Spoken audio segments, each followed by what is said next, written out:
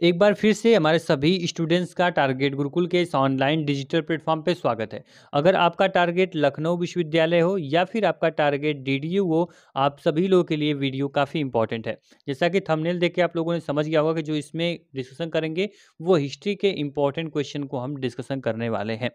जितने बच्चों के सिलेबस में हिस्ट्री है, यानी कि आपका बीए का एग्ज़ाम हो बी एल एल बी हो बी बी हो या फिर आपका L L B entrance exam हो आप लोग के सिलेबस में हिस्ट्री है तो हिस्ट्री से लगभग पाँच से छः क्वेश्चन इस आपके सिंगल वीडियो से निकलने वाले हैं, ठीक है? यानी कि आपके एंट्रेंस एग्ज़ाम में पाँच से छः क्वेश्चन सिंगल वीडियो से आने वाले हैं। इतने इंपॉर्टेंट क्वेश्चन है, आप ध्यान से क्वेश्चन को देखोगे, खुद समझ आ जाएगा क्वेश्चन की क्वालिटी क्या है, क्वेश्चन का लेवल क्या है, ठीक है? तो यहाँ पर हम क्वेश्चन को ओके करके डिस्कशन करेंगे। सबसे अच्छी बात, टारगेट गुरुकुल को आप जानते हो पहले से ही कि जो आपके कंटेंट होंगे वो इंग्लिश और हिंदी। दोनों लैंग्वेज में प्रोवाइड किए जाते हैं। बिल्कुल इसके लिए निश्चिंत रहना, यूपी बोर्ड सीबीएसई बोर्ड सभी बच्चे हमारे लिए उतना ही इंपॉर्टेंट है, ठीक? बात करते हैं, जो पहला क्वेश्चन आपका है, हड़प्पा सभ्यता को किस सभ्यता के नाम से जाना जाता है? तो बहुत सारे बच्चे हड़प्पा सभ्यता को बहुत आप लोग हाई स्कूल इंटर से जानते हुए, पढ़ते हुए आ रहे हो। तो यहाँ पे आपको पता होगा, सिंधु घाटी की सभ्यता को हम हड़प्पा सभ्यता के नाम से जानते हैं। तो ऑप्शन नंबर जो आप लोग का यहाँ पे बी होगा, वो आपका राइट आंसर होगा, ठीक है? तो आप लोग को इतनी चीज़ें क्लियर होनी चाहिए कि यहाँ पे कौन सा हड़प्पा सभ्यता है, सिंधु घाटी सभ्यता क्या है, ये इंपॉर्टेंट टॉपिक है। अगर अभी तक आप लोग अपने सिलेबस को नहीं देखे, डिटेल सिलेबस की बात कर रहे हैं, अगर आपके सिलेबस में हिस्ट्री है, फिजिक्स है, केमिस्ट्री है, जियोलॉजी है या फिर कॉमर्स में आपका अकाउंटेंस, अकाउंटिंग है या फिर लॉ में आपका लीगल है तो उसमें कौन कौन चैप्टर से क्वेश्चन पूछेगा, उसका सिलेबस आपको पता होना चाहिए। इसके लिए आपको target Gurukul mobile app download करिए। अभी वीडियो के लास्ट में बता देंगे कैसे आप सिलेबस को डाउनलोड करोगे। वीडियो देख लेना और जाकर अपने सिलेबस को डाउनलोड कर लेना, ठीक है? फ्री ऑफ़ कॉस्ट सिलेबस को डाउनलोड करना है, कोई चार्ज आपसे नहीं लिया जाएगा सिलेबस आप जाके देख सकते हो, ठीक? आगे बढ़ते हैं यहाँ पे, जो दूसरा क्वेश्चन है, पहला क्वेश्चन क्लियर हुआ कि आप लोग का सिंधु राइट आंसर होगा। सिंधु घाटी सभ्यता को हड़प्पा सभ्यता जानते हैं, ठीक? दूसरा जो क्वेश्चन है, हड़प्पा सभ्यता किस आधुनिक देश में स्थित थी, ठीक है? तो यहाँ पे जो सेकेंड क्वेश्चन क्या बोलता है, हड़प्पा सभ्यता किस आधुनिक देश में स्थित थी? पहले तो मैं आप लोग को थोड़ा सा इंस्ट्रक्शन दूँगा। इंट्रेंस एग्ज़ाम का जो सिलेबस होता है, वो आप लोग का एमसीक्यू होता है, ठीक है? क्या होता है? एम होता है। तो आपको क्वेश्चंस को ध्यान से देखना है। क्वेश्चन तो सब इजी रहेंगे जो अपने इलेवन ट्वेल्थ में पढ़ा है, उसी से क्वेश्चन पूछेगा। लेकिन क्वेश्चन जो पूछने का तरीका है, वो थोड़ा अलग हो सकता है। तो आपको क्या करना है? एम पैटर्न पे आपको तैयारी करनी है। तो टारगेट गुरुकुल कंप्लीट आप लोग के पीछे आपके खड़ा है। बस आपको आगे चलना है, पीछे से पूरा सपोर्ट आपका हमारा रहेगा, ठीक है? बस एक एक कदम बढ़ाते जाओ, अपनी सफलता की तरफ़, अपने सिलेक्शन की तरफ़। पूरा आप लोग का जो कामयाबी तक, जो आपके सिलेक्शन तक पहुँचाने की जो ज़िम्मेदारी है, वो हमारी है, ठीक है?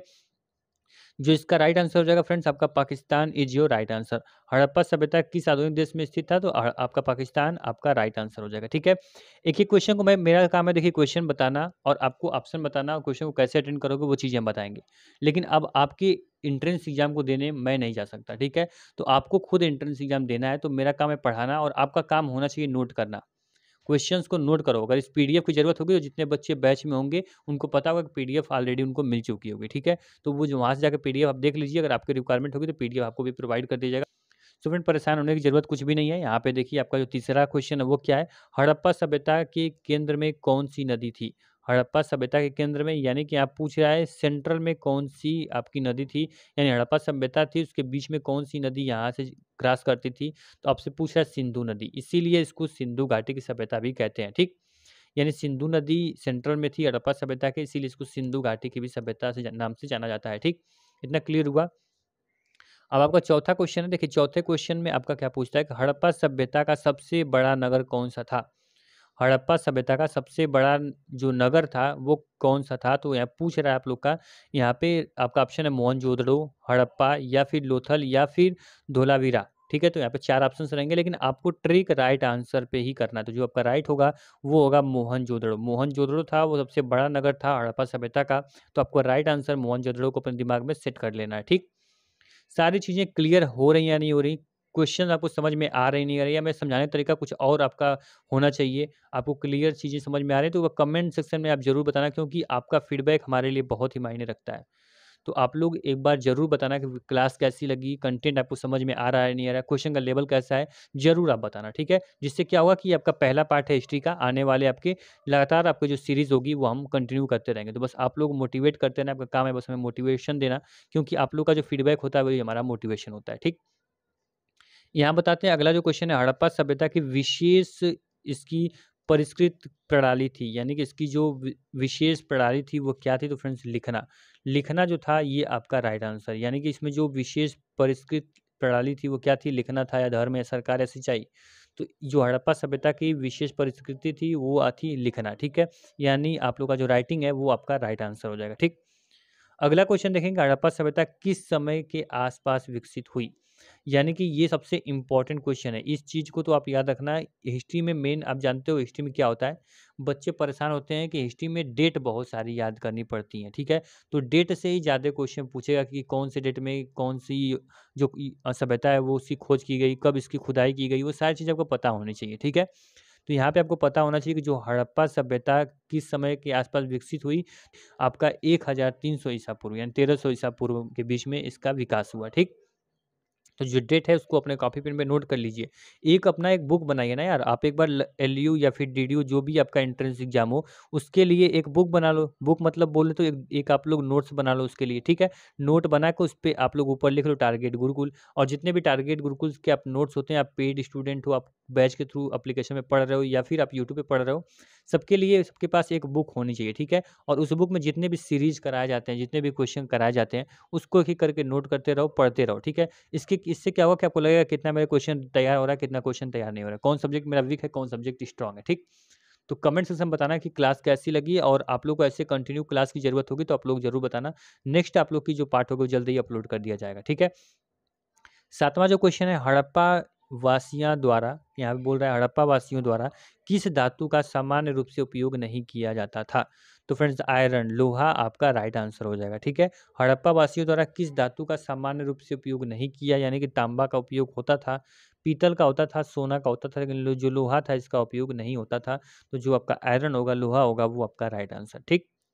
अगर यही पूछ दे किसका उपयोग किया जाता था तो आपको याद रखना है कि तांबा, पीतल, सोना, अगर ये तीनों ऑप्शन है तो आप तीनों पे क्लिक कर दोगे, ठीक? अब वहीं पे आगे बढ़ते हैं। क्वेश्चन को ध्यान से देखिए। यहाँ पे क्या है कि हड़प्पा वासियों ने किस जानवर को पालतू बनाया था? यहाँ बोल रहा है हड़प्पा वासियों ने किस जानवर को, यानी हड़प्पा सभ्यता में पालतू जानवर कौन सा था? घोड़ा था या ऊँट था या गाय थी या भेड़? तो आपका जो गाय होगा, वो आपका राइट आंसर यानी कि हड़प्पा सभ्यता में पालतू जानवर में गाय को बनाया गया सबसे पहले तो गाय आपका राइट आंसर हो जाएगा। ठीक? क्वेश्चन क्लियर है, आगे बढ़ें, ठीक है, चलिए आगे बढ़ते हैं। अभी तक आप लोग को क्लास पसंद आई और क्लास को अभी तक लाइक नहीं की हो तो ये सबसे गलत बात है। ठीक है? आप लोग का जो मोटिवेशन है, वो हमारा आपकी लाइक है, आपका कमेंट है। प्लीज़ आप लोग मोटिवेट करें हर फैकल्टी को। जितने भी आप लोग बता दें किसी भी यूट्यूब चैनल पे आप क्लासेस देखते हो, किसी की भी क्लासेस देखते हो, अगर वो आपको पढ़ा रहा है यूट्यूब पर तो उसका मोटिवेशन होता है वीडियो को लाइक कर देना और आप एक अच्छा सा कमेंट कर देना, ठीक है? तो उससे क्या होगा, वो टीचर मोटिवेट होता है और बोलता है कि स्टूडेंट की मेरी पढ़ाई हुई चीज़ें पसंद आ रही हैं तो और एनर्जी के साथ और अलग एनर्जी के साथ आपके आगे पढ़ाता है और वो चीज़ें आपको समझ में आती है, ठीक? तो बस यही है, आपसे रिक्वेस्ट है कि आप हमारे ने किसी प्लेटफॉर्म पे आप पढ़ें तो उस पर आप ज़रूर अपना फीडबैक दिया करें, जिससे कि उनको भी अच्छा लगेगा और आपको पढ़ने में भी मज़ा आएगा, ठीक? नंबर क्वेश्चन ये पूछता है कि हड़प्पा वासियों के पास की एक जटिल प्रणाली थी जो व्यापार और वाणिज्य के लिए महत्वपूर्ण थी? कौन सा था भैया? भार या मापन? या फिर करो या फिर मुद्रा या फिर टैरिफ? तो आपका जो राइट आंसर होगा भार और मापन। भार और मापन जो था वो मुख्य जटिल प्रणाली थी व्यापार और वाणिज्य के लिए, जिसका उपयोग हड़प्पावासी करते थे, ठीक? तो भार करते थे और मापन करते थे, वो उनके व्यापार में सहयोग करता था, ठीक है? अब आगे बढ़ते हैं, यहाँ पे आपको याद रखना भार और मापन। भार और मापन क्या था? तो हड़प्पा वासियों के लिए, एक व्यापार के लिए एक महत्वपूर्ण प्रणाली थी, ठीक? ग्यारह नंबर क्वेश्चन हड़प्पा वासी का प्रयोग करके करने वाली पहली सभ्यता थी। यानी हड़प्पावासी सबसे पहले कौन सी चीज़ का आविष्कार किए, उसका उपयोग करना शुरू किए? तो फ्रेंड्स, आपका पहिया आपका राइट आंसर होगा, ठीक है? मतलब सबसे पहले हड़प्पावासी ही पहिया का यूज़ करना शुरू किए, जो आज देखते हैं फोर व्हीलर चलते हैं, टू व्हीलर चलते हैं या बैलगाड़ी में देखते हैं। तो क्लियर है कि आप लोग का जो पहिया का उपयोग है, यह हड़प्पावासी यानी हड़प्पा सभ्यता से इसका विकास हुआ और आज इतना आगे ये डेवलप कर गया, ठीक है? तो आपको याद रखना कि पहिया सबसे पहले यूज़ कहाँ पे हुआ था? तो हड़प्पावासी इसका यूज़ सबसे पहले किए थे। हड़प्पा सभ्यता किस घटना से नष्ट हो गई थी? यहाँ बारह नंबर क्वेश्चन पूछता है कि हड़प्पा सभ्यता किस घटना से नष्ट हो गई? तो जो आपका किस घटना से नष्ट हुई उसको आपको ढूंढना है, उसका राइट आंसर क्या होगा? तो यहाँ पे चार ऑप्शन आपको दिए गए हैं, ठीक? ज्वालामुखी है आपका एक उल्का प्रभाव है या फिर आपका बाढ़ है या फिर आपका युद्ध, यानी ऑप्शन नंबर डी जो होगा, वो वार होगा, युद्ध, ठीक है? यहाँ पे युद्ध आप समझेंगे। तो यहाँ पे आपका युद्ध की वजह से नष्ट हो गई या बाढ़ की वजह से या फिर आप लोग का उल्का प्रभाव से या फिर ज्वालामुखी से तो फ्रेंड जो आपका राइट आंसर होगा युद्ध, यानी युद्ध के वजह से जो आप लोग की हड़प्पा सभ्यता थी, वो नष्ट हो गई थी, ठीक? तो आपको ये रीजन भी याद रखना है, नष्ट होने का वजह युद्ध था, ठीक? तेरह नंबर क्वेश्चन क्या बोलता है कि हड़प्पा यहाँ बोल रहा है हड़प्पा लिपि को अभी पूरी तरह से पढ़ा जाना बाकी है, लेकिन इसे का एक रूप माना जाता है। तो फ्रेंड्स द्रविड़, यानी आपका द्रविड़ जो होगा, ये राइट आंसर ठीक? यानी संस्कृत, तमिल, द्रविड़, ये क्या लिखा है? ये एक आप लोग की भाषा लिखी गई है, ठीक है? तो द्रविड़ का एक रूप माना जाता है। तो हड़प्पा सभ्यता यहाँ पर लिखा गया, हड़प्पा लिपि को अभी पूरी तरह से पढ़ा जाना बाकी है, लेकिन इसे एक द्रविड़ का एक रूप माना जाता है। तो आपका राइट आंसर जो होगा, वो ऑप्शन नंबर सी होगा, ठीक? आगे बढ़ें। ठीक है सर, आगे बढ़ते हैं। चौदह नंबर क्वेश्चन बोलता है कि लोथल के हड़प्पा शहर में कौन सी नदी स्थित थी? यहाँ पे थोड़ा मिस टाइपिंग है तो उसको आप इग्नोर करेंगे। यहाँ पे क्वेश्चन मैंने पढ़ दिया कि आपके जो लोथल के हड़प्पा शहर में कौन सी नदी थी तो आपका जो राइट आंसर होगा वो होगा सरस्वती। यानी कि सरस्वती आपका राइट आंसर यहाँ पे कुछ आपको ऑप्शन रहेंगे जो आप कन्फ्यूज़ करने के लिए दिए गए रहेंगे। गंगा, सिंधु, यमुना, सरस्वती। तो आपको ऑप्शन नंबर डी आपको ध्यान रखना है, सरस्वती नदी, ठीक? जो कि लोथल के हड़प्पा शहर में थी।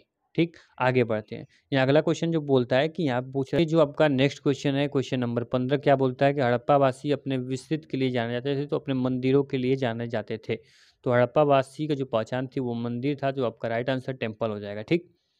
आपका जो यहाँ पे विस्तृत यानी कि मंदिरों पे ज़्यादा फोकस करते थे हड़प्पावासी, इस वजह से आपको मंदिर जो होगा वो आपका राइट आंसर हो जाएगा। अगला क्वेश्चन आप देखेंगे, अगला क्वेश्चन क्या बोलता है? पे देखेंगे सोलह नंबर क्वेश्चन क्या बोलता है? सोलह number question must important question इसको भी आप नोट कर लेना। कई बार इंट्रेंस एग्ज़ाम में पूछे जा चुके हैं। हड़प्पावासी किस प्रकार के आभूषण बनाने में दक्ष थे? यानी कि वो कैपेबल थे किस प्रकार के आभूषण बनाने में? तो ऑप्शन आपको मिलेगा रिंग या फिर कंगन, हार ऊपर के सभी। तो जो आपका राइट आंसर हो जाएगा ऑप्शन नंबर डी ऊपर के सभी। यानी कि क्या बोल रही है कि आप वो क्या थे? वो रिंग भी बना पाते थे, वो कंगन भी बना पाते थे और हार भी। यानी तीनों जो होगा, ये आपका राइट आंसर होगा। तो आपका क्या होगा कि अगर पूछेगा हड़प्पा सभ्यता में कौन से आभूषण बनाए जाते थे तो आपका जो रिंग, कंगन, हार, ये तीनों आपका राइट आंसर होगा ऑप्शन नंबर नंबर डी जो होगा, वो आपका राइट होगा, ठीक? तो उम्मीद करते हैं जो क्वेश्चंस होंगे इस क्लास के, वो काफ़ी इंपॉर्टेंट आपको समझ में आए होंगे। अभी क्वेश्चंस तो हालाँकि बहुत हैं, अगर क्वेश्चन कराने का वीडियो काफ़ी लंबी हो जाएगी, लेकिन हम बस देखना चाहते हैं कि हिस्ट्री के इंपॉर्टेंट क्वेश्चन कितने, बच्चों की ज़रूरत है, वो वाकई में चाहते हैं। तो आप लोग कमेंट बताना, सारे जो क्वेश्चन होंगे आपको करा दिए जाएँगे। और जो आप लोग बच्चे, जितने पेड स्टूडेंट हैं, अगर आप लोग को जाकर अपने बैच को चेक करें, वहाँ पर जो पीडीएफ होंगे, सारे हिस्ट्री की वो अपलोड कर दी गई हैं इंपॉर्टेंट शॉर्ट्स नोट्स भी आपको प्रोवाइड कर दिए गए हैं। जितने बच्चे भी चैनल पहली बार आए, सब्सक्राइब कर लें। अगर वो लखनऊ विश्वविद्यालय या फिर आप डीडीयू यानी कि गोरखपुर विश्वविद्यालय एंट्रेंस एग्ज़ाम की तैयारी कर रहे हो तो टारगेट गुरुकुल के मोबाइल ऐप को आपको ज़रूर डाउनलोड करना वहाँ पर डिटेल सिलेबस मिल जाएगा और complete B A B com B S C L L B B L L B B A B C सबके इंपॉर्टेंट आपके बैच भी मिल जाएँगे, जिसके थ्रू आप कंप्लीट प्रिपरेशन करके कम समय में अच्छी तैयारी कर सकते हैं। तो जाके अपने बैच को इनरोल करिए, पढ़िए। वहाँ पे एक से एक फैकल्टी आपको हर सब्जेक्ट की पढ़ा रही होगी और जो भी डाउट समस्या होती है, आप कमेंट सेक्शन में बताएँ। नेक्स्ट वीडियो आपकी उसी टॉपिक पे अपलोड कर दी जाएगी। क्लास कैसी लगी कमेंट में ज़रूर बताना। Thank you